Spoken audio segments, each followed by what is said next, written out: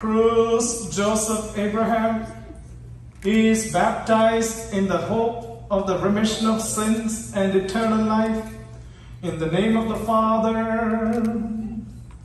and of the Son and of the Holy Spirit.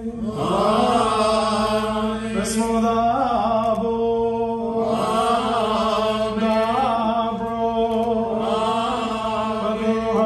Pagruhayo kadisho menevolem vada